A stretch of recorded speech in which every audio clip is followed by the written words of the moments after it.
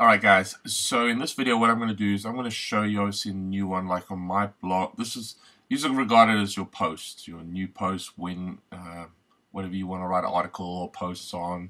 So um, I'm gonna let's go over back to our we're gonna start adding different posts in here so we can obviously make it a little bit bigger than that. So and I'm going to show you how to do that in your dashboard. Let's go back to dashboard and what you want to do is go under posts. Drop down menu we're going to go to add new.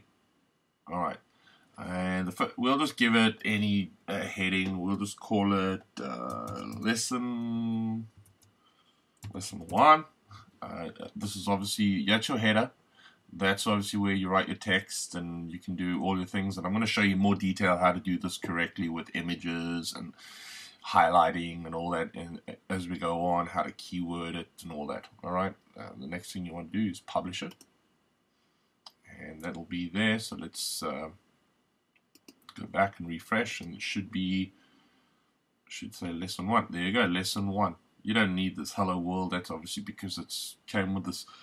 So let's do another one real quick so you kind of get the idea here. We're going to add another one.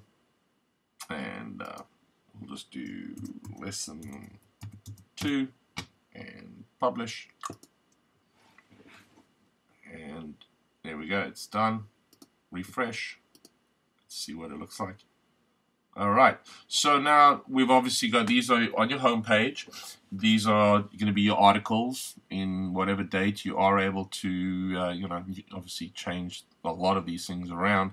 Um, but at the same time uh, some of these posts that you can put on the on the next video which I'm going to show you is how to take say we'll take lesson number one and how to put it under a specific actual category. Alright I'll show you that on the next video